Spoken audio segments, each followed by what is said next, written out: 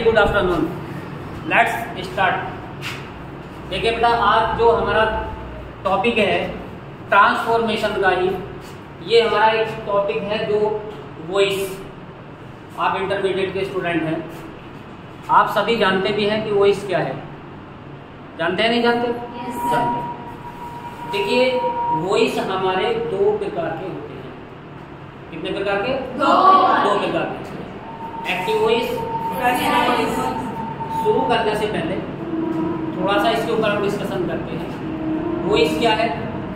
Voice है आप, आपके सामने खड़े होकर के मैं जो अपने होठों से आवाज़ निकाल रहा हूँ और वो जो आवाज़ आपके कानों तक पहुँच रही है, मेरे अल्फाजों को, मेरी आवाज़ को जो आप अपने कानों से सुन रहे हैं क्या है? ये है इसको हम ध्वनि भी बोलते हैं। दूसरे शब्दों में, एक शब्द में इसको वाच्य भी कहते हैं। तो ये हमारी जो ध्वनि है, ये दो प्रकार की इसका मतलब है कि हम अपनी बात को किसी के सामने दो तरह से पेश कर सकते हैं। ठीक है ना? We can present our thought before someone कितने? टू टाइप्स यानी दो तरह से हम अपनी बात को किसी के सामने रख सकते हैं। एक्टिव वे में और पैसिव तो देखिए वॉइस जो है हमारी मैं आपको बता चुका हूँ कि ये दो प्रकार की दो प्रकार की होती है। ठीक? जिसमें नंबर एक है आपका कौन सा? एक्टिव एक्टिव वॉइस ठीक? और दूसरा है आपका? पैसिव ये दो वॉइस है हमारी एक्टिव वॉइस और पैसिव अब देखिए एक्टिव वॉइस जो है हमारी, इसमें एक सब्जेक्ट होता है, एक ऑब्जेक्ट होता है। एक सब्जेक्ट होता है, एक वर्ब होती है, एक ऑब्जेक्ट होता है। और एक्टिव से पैसिव वॉइस में आने के लिए ये शर्त होती है कि एक्टिव वॉइस में ऑब्जेक्ट का होना ज़रूरी है। अगर हम किसी भी एक्टिव को पैसिव में ले जाना चाहते हैं तो शर्त है कि एक्टिव में ऑब्जेक्ट का होना ज़रूरी है। ये शर्त है। अगर किसी एक्टिव में ऑब्जेक्ट नहीं है तो हम उसको पैसिव में नहीं ले सकते। इसलिए एक्टिव में ऑब्जेक्ट का होना शर्त शर्त है। अच्छा अब एक्टिव और पैसिव में फ़र्क क्या है? देखिए एक्टिव जो है हमारे वो बारह टेंसेस में होते हैं। यानी टेंस कितने कुल मिला के हमारे प्रेजेंट पास्ट और फ्यूचर तीन है ना? और जब इनको क्लासिफाई करते हैं तो इंडेफिनिट कंटिन्यूस परफेक्ट और परफेक्ट बारह हो गए three into four is equal to twelve बारह। तो ये हमारे बारह टेंसेस में है एक्टिव जो है बारह में। लेकिन जब हम पैसिव में कन्वर्ट करते हैं एक्टिव को तो वो केवल आठ टेंसेज में ही कितने में? आठ। टेंसेज में। ये बारह है आपके और ये केवल आप आठ में पैसिव बना सकते हैं।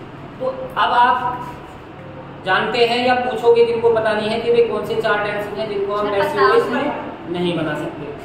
तो हमारे चार हैं वो future indefinite tense sorry future continuous tense और परफेक्ट कंटिन्यूअस पूरा present perfect continuous perfect continuous और future perfect perfect continuous complete tense है और दूसरा है फ्यूचर ये चौथा टेंस आपका इन चार भी हम पैसिव नहीं अब देखिए जब हम एक्टिव से पैसिव में आते हैं तो इसके लिए हमें अब एक बात तो हमारे आपको कंफर्म हुई कि एक्टिव में पैसिव बनाने के लिए ऑब्जेक्ट का होना ज़रूरी है। है। अब हम जब पैसिव वॉइस में आएँगे और आठ टेंस की पैसिव वॉइस बनाएँगे ठीक है ना? तो जिसमें आपका जो तो सबसे पहला टेंस है वो कौन सा होगा?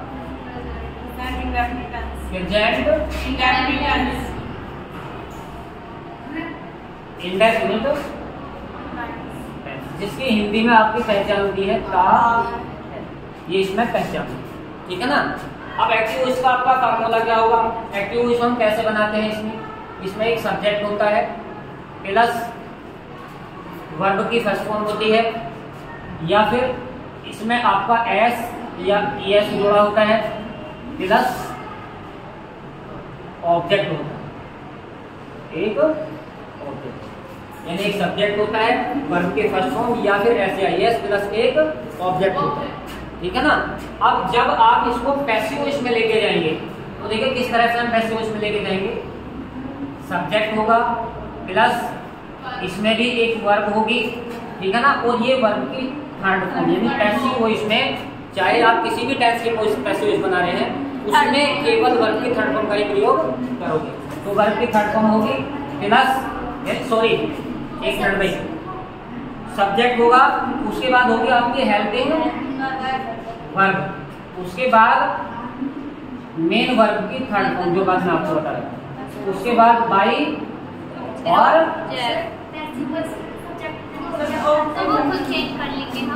ऑब्जेक्ट ठीक है ना? आप देखिए किस तरह से आपको बदलना है। ये वाली वर्ब तो आपकी इसमें बदल जाएगी। ये वाली वर्ब इसमें और ये वाला जो ऑब्जेक्ट है आपका ये इधर आ जाएगा और सब्जेक्ट में बदल जाएगा और ये जो आपका सब्जेक्ट है एक्टिव का ये इधर चला जाएगा और ऑब्जेक्ट में ये इसका एक स्ट्रक्चर है आपका जो एक्टिव से हम पैसिव में आएँगे। ठीक है? इसे नोट करोगे आप? यस आप कर दो। कुछ बच्चों ने नोट किया भी होगा। जो करना चाह रहे हो एकदम फ़ौरन इसको जल्दी से नोट करें फिर हम आगे चलते हैं इसके बाद। ऊपर से तो कर सकता हूँ साथ में?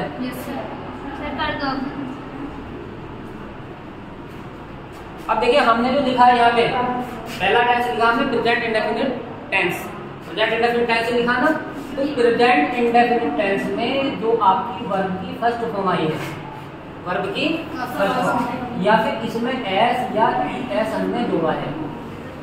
ठीक? ये है आपका एक्टिव में। एक्टिव और आपको इसको पैसिव में बदल के ले जा रहे हैं, वो कैसे ले जा रहे हैं? देखिए is is are am plus verb की थर्ड फॉर्म ठीक है? ये आपका पैसिव एक्टिव है वर्ब की फ़र्स्ट फॉर्म या फिर एच एस लगा हुआ होगा। और जब आप पैसिव बनाएँगे तो इज़ आर और एम यानी हेल्पिंग वर्ब जो लिखाओगे प्रेजेंट इंडेफिनिट टेंस में वो इज़ आर और एम आप जानते हैं कि इस कब लाओगे आर कब लाओगे एम कब लाओगे ये आप एक्टिव से जब आप पैसिव बना रहे हो पैसिव का जो नया सब्जेक्ट बन के आपका आ रहा है उसके अकॉर्डिंग अगर वो आपका नया सब्जेक्ट सिंगुलर नंबर आ रहा है तो हेल्पिंग वर्ब आपकी क्या होगी? अगर वही आपका सब्जेक्ट प्लूरल नंबर आ रहा है तो हेल्पिंग वर्ब और अगर वही सब्जेक्ट आपका फ़र्स्ट पर्सन आई आ रहा है तो हेल्पिंग वर्ब उसके बाद वर्ब की थर्ड फॉर्म ये आप पहले भी सुन चुके हैं आपको मालूम भी है कि पैसिव वॉइस आप किसी भी टेंस की बनाएँगे तो मेन वर्ब की केवल थर्ड फॉर्म का ही प्रयोग आप देखिए इसका हम एग्ज़ाम्पल लेते हैं।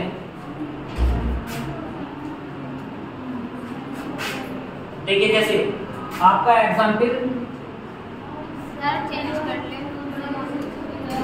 एग्ज़ाम्पल फ़र्स्ट आपका पहला एग्ज़ाम्पल ले रहे हैं हम। मान लीजिए सेंटेंस है आपका he plays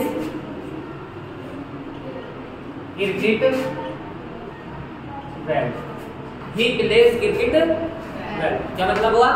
वह क्रिकेट अच्छी तरह खेलता है। वह क्रिकेट अच्छी तरह अभी हमने यहाँ पे देखो एक फॉर्मूला तैयार किया था। ये है हमारा सब्जेक्ट ये है वर्ब ये है ऑब्जेक्ट और ये ओ डब्ल्यू है अदर वर्ड्स में। अब हमने अभी यहाँ पे फॉर्मूला क्या तैयार किया था? पहला रूल क्या है इसका? पहला नियम है कि सबसे पहले ऑब्जेक्ट को सब्जेक्ट में लेकर आइए। तो क्रिकेट को आप क्या करोगे? सब्जेक्ट में पहले लेकर आइए। अब आगे चलने से पहले हम प्रेजेंट इंडेफिनिट टेंस में हैं। तो आगे चलने से पहले सबसे पहले तो आपको इसका नंबर देखना है। क्या देखना है? नंबर कि ये सिंगुलर नंबर है और कितने होते हैं नंबर होते हैं ना सिंगुलर और तो नंबर देखो कि ये सिंगुलर है या प्लूरल है कौन सा नंबर है क्रिकेट प्लूरल है सिंगुलर कौन सा है क्रिकेट प्लूरल है क्रिकेट गेम कोई भी है, कोई भी गेम ठीक है ना? वो हमेशा सिंगुलर ही होता है। और ये भी बात याद रखनी है कि किसी भी गेम के नाम से पहले आर्टिकल द का प्रयोग नहीं करते।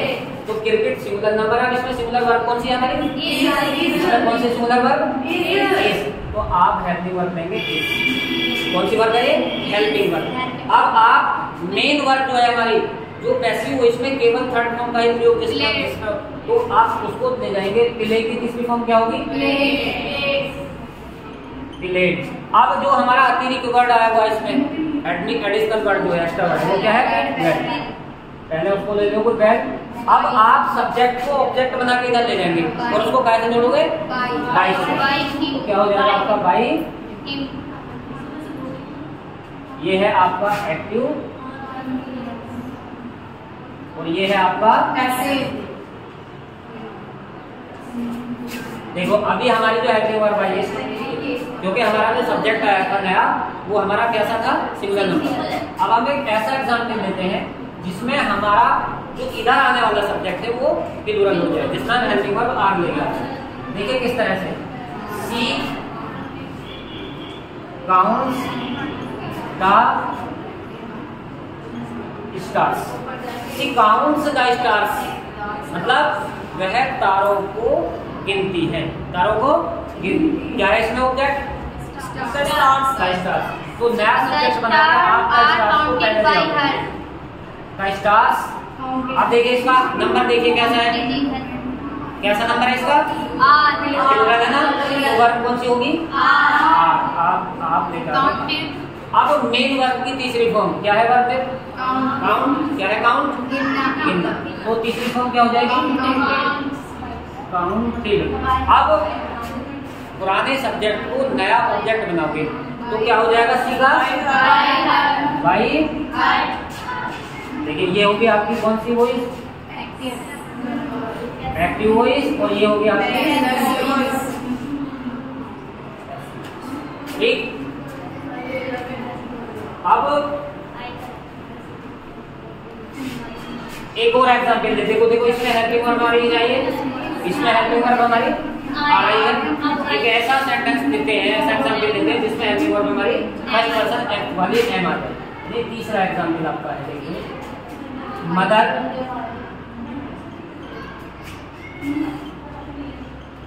teaches me mother teaches me कौन सा है ऑब्जेक्ट इसमें मी है ना?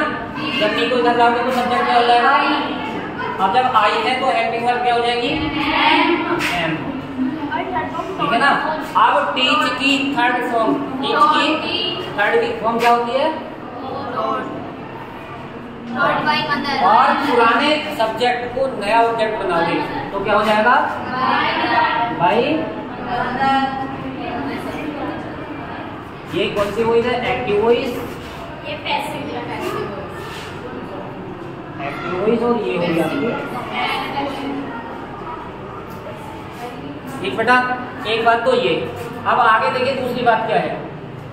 आपको जब आप कहीं भी एग्ज़ाम में या कोई आपसे सेंटेंस बोलता है तो सबसे पहले आपको उसका फॉर्म देखना है सेंटेंस का। यानी रूप देखना है। सेंटेंस के जो तीन रूप है हमारे। तीन ना फॉर्म सेंटेंस की तीन फॉर्म होती है। अफर्मेटिव निगेटिव इंटर अब कुछ बच्चे क्या करते हैं एग्ज़ाम में हमारा एक सेंटेंस आ गया पैसिव बनाने के लिए। सेंटेंस है हमारा इंटरोगेटिव हम उसको पैसिव बनाने जा रहे हैं तो आप पैसिव तो बना देते हैं हम उसकी लेकिन उसका फॉर्म बदल जाता है इंटरोगेटिव को हम असर्टिव में अफर्मेटिव में बना देते हैं। तो अगर हमारा सेंटेंस अफर्मेटिव है तो पैसिव भी अफर्मेटिव होगा। एक्टिव अगर निगेटिव है तो पैसिव भी निगेटिव और अगर एक्टिव आपका इंटरोगेटिव है तो पैसिव भी इंटरोगेटिव होगा। तो आपको अंदर लेना है, यहाँ पे सेंटेंस कुछ एग्जाम्पल्स हम नेगेटिव और इंटरोगेटिव के लेते हैं। ठीक है ना?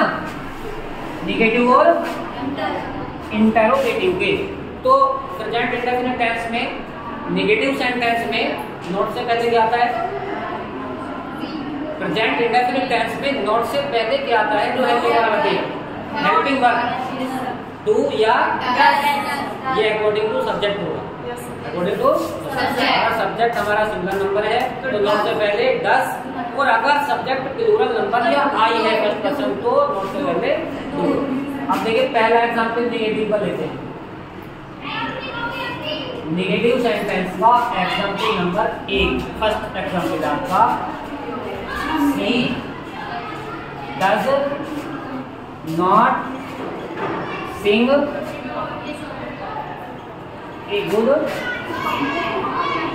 वह गीत तो गाती है परंतु अच्छा नहीं गाती है। वह अच्छा गीत वह अच्छा गीत नहीं गाती। है। She does not sing a good वह अच्छा गीत नहीं तो ऑब्जेक्ट बताइए कौन सा का कौन सा ऑब्जेक्ट है इसमें? A good song a good sentence कैसा है ये हमारा?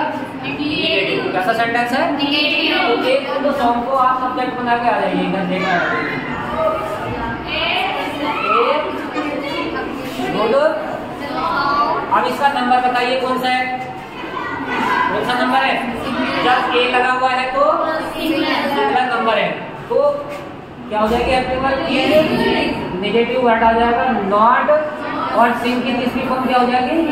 संग अब जो पुराना हमारा सब्जेक्ट है इसको न्यू ऑब्जेक्ट बनाओगे और बाई का जो तो क्या हो जाएगा? बाई और सी का ऑब्जेक्ट क्या हो गया? ये हो गया आपकी कौन सी? एक्टिव ये होगी आपकी।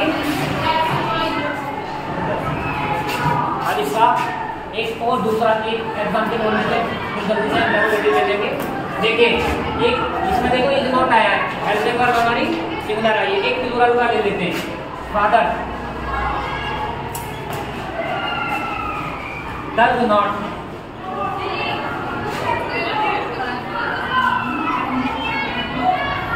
scold us. Does not scold scold us डांटने क्या होता है स्कोल्ड डांटना डपटना father does not scold us ठीक है ना? पिताजी हमको नहीं डांटते हैं। ऑब्जेक्ट क्या है देखिए? अस अस को जब सब्जेक्ट बनाओगे तो क्या हो जाएगा? भी हो जाएगा ना? अब बी का नंबर देख लीजिए। कैसा है? प्लूरल प्लूरल नंबर है? तो हेल्प में वर्ब ले लो। आर नेगेटिव वर्ड लाओगे नॉट स्कॉल्ड को तीसरी फॉर्म में ले जाओगे बेटा, क्या हो जाएगा?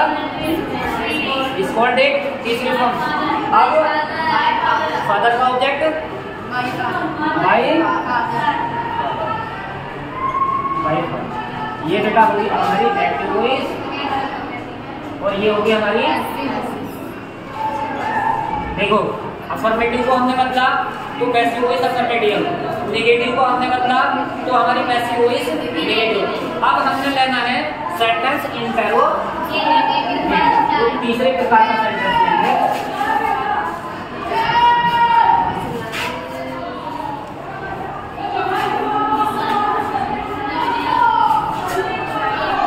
तीसरे प्रकार का।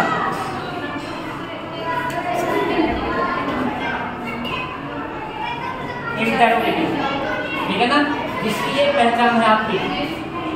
ये इंटरोगेटिव ठीक है ना, ये मार्क जो है, ये इंटरोगेटिव मार्क होता है हमारा, ये पहचान अब इंटरोगेटिव आपको पता दो तरह के होते हैं।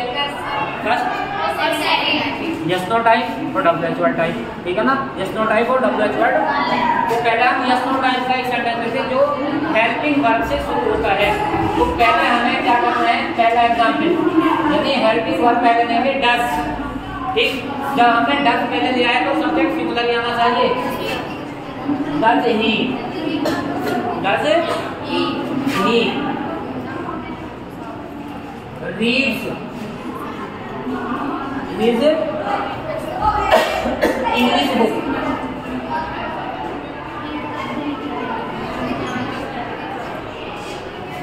does he reads sorry कहीं पे गलती नहीं है मिस्टेक एक करो ये सेंटेंस तो क्या होना चाहिए था does he read his English book sorry देखिए ये हेल्पिंग वर्ब ऑब्जेक्ट कहाँ है? इंग्लिश बुक हिज इंग्लिश ये पूरा ऑब्जेक्ट अब हमने क्या करना? है ये बता रहा था मैं आपको कि हमसे एग्ज़ाम में क्या गलती होती है कि सेंटेंस हमारा एक्टिव वॉइस जो है वो इंटरोगेटिव होता है। तो जब हम पैसिव वॉइस बनाने जाते हैं तो वो सेंटेंस हमारा असर्टिव में बन जाता है अफर्मेटिव में बन जाता है। अब जब हेल्पिंग वर्ब हमारी एक्टिव में पहले है तो पैसिव में भी हमारी हेल्पिंग वर्ब भी पहले होगी। चाहिए तो देखिए हिज इंग्लिश बुक को इधर लाने से पहले आप ये देख लीजिए, जो नया ऑब्जेक्ट सब्जेक्ट बन के आने वाला है, उसका नंबर कौन सा है? सिंगुलर है या? तो कौन सा नंबर है इसका? तो सिमिलर हेल्पिंग वर्ब आप पहले ले लेंगे, इसकी जगह क्या? हो जाएगी आपकी ठीक है ना? अब जब हमने इसे ले लिया किसके अकॉर्डिंग लिया? His English book his English तो अब मेन वर्ब की थर्ड फॉर्म नेटवर्क की शर्त और रीड की तीसरी फॉर्म क्या होती है? रीड होती है अब क्या करना है? ऑब्जेक्ट को उधर ले जाइए. और ही का ऑब्जेक्ट क्या होता है? बाई जब क्वेश्चन मार्क आपका एक्टिव में है तो पैसिव वॉइस में भी आपको क्वेश्चन मार्क लाना पड़ेगा। सेंटेंस नंबर दो एक डू का जिसमें, देखिए आपने डू लिया है। तो सब्जेक्ट का पिदूरा नहीं होगा। Do they fly kites in the evening. क्या वे शाम को पतंग उड़ाते हैं? ये क्या वो शाम को पतंग उड़ाते हैं। देखिए हेल्पिंग वर्ड डू है। लेकिन जब आप पैसिव उसमें जाएँगे तो आप देखेंगे कि नया जो इधर सब्जेक्ट बन के आने वाला है वो हमारा सिंगुलर नंबर है या देखिए ऑब्जेक्ट ये है आपका काइट्स जब आप काइट्स को इधर ला रहे हैं तो हेल्पिंग वर्ड क्या हो जाएगी? आपकी आर काइट्स फ्लाई की तीसरी फॉर्म क्या होती है? फिलोन अब अन्य शब्द देखिए अदर वर्ड फॉर्म से in the in the evening अब ऑब्जेक्ट ले लीजिए बाई एक ऑब्जेक्ट क्या होगा? ठीक है भाई? देखिए एक में हेल्पिंग हमारी ली जाइए दूसरे में हेल्पिंग वर्ब एम का भी ऐसे होगा अगर इधर इधर टी जाता है उसको हम सब्जेक्ट बना के ला रहे हैं। चलो ले लेते हैं इसका भी एक एग्ज़ाम्पल नंबर तीन तीसरा एग्ज़ाम्पल वो ले लेते हैं ऐसा कि जिसमें हम आ जाए does he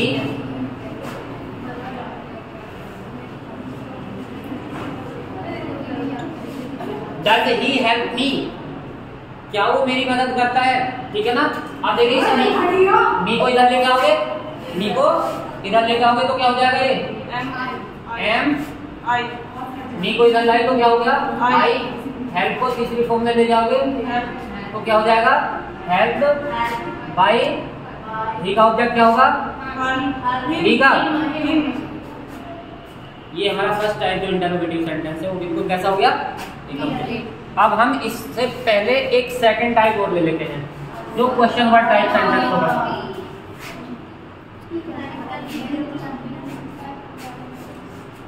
W H type एक ये और ले लीजिए। डब्ल्यू एच टाइप यानी क्वेश्चन वर्ड टाइप सेंटेंस देखिए, पहला example why does he make a noise मतलब? वैसे हो क्यों अब देखिए सेकंड टाइप में जो क्वेश्चन वर्ड है, वो वैसे का वैसे है। क्वेश्चन वर्ड को नहीं तो क्या हो जाएगा? भाई ऑब्जेक्ट क्या है? नंबर कौन सा है? तो हेल्पिंग वर्ब लोगे इज़ को आप सब्जेक्ट बना लोगे। बना लिया? भाई इज़ ए नॉइज़ मेक को तीसरी फॉर्म में ले जाओगे। अब नया ऑब्जेक्ट हो जाएगा हमारा भाई ठीक है ना? एक और ले लेते हैं, दूसरा एग्ज़ाम्पल लास्ट है ये आपका where do they